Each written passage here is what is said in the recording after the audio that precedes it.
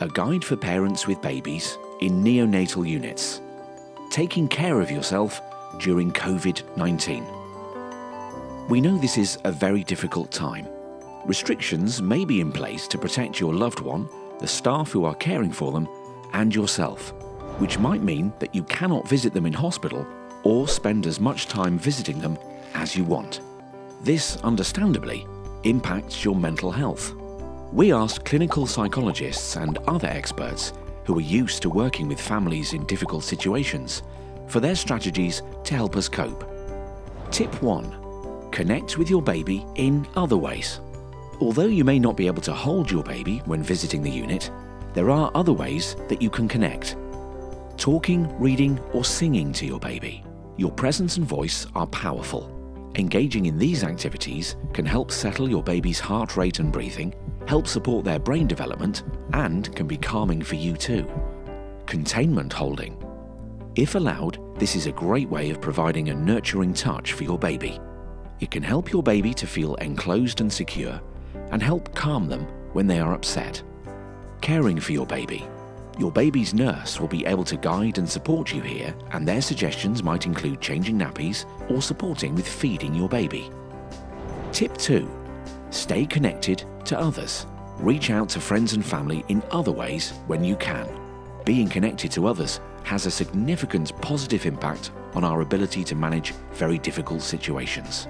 But it's also important to make sure you don't get overwhelmed. Schedule times when you speak with others or update family and friends. Tip 3. Take care of yourself. It's important to consider your individual needs at this time because you are important. You can't be there to help or support others, including your baby, if you're not looking after your own well-being. 1. Try to eat and drink regularly. 2. Create a bedtime routine to help with sleep.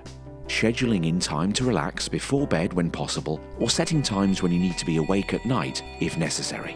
3.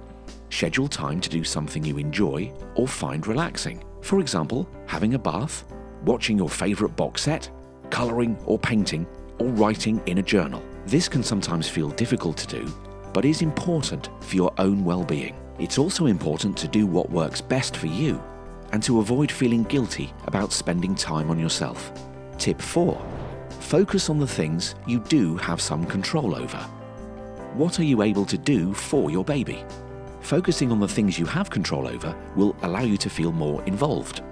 What do you have control over in other areas of your life? This will feel more difficult with the current restrictions, but identifying things you have control over in your home life can also help. Make a plan for how to spend each day. This could include how and when you'll be involved in caring for your baby and when you will do something which focuses on your own self-care. Tip 5. Stay connected to the present. It's completely understandable that you may be worried at the moment, but worrying can take you away from the present. Try to bring yourself back to the present by focusing on your breathing or grounding yourself, for example, by putting your feet on the floor and noticing what that feels like. You can also practice mindfulness with your baby. Being present with your baby and spending time bonding together can be a great way to stay connected to the present. You could try noticing their expression, in person or over video, and really focus in on them moment to moment.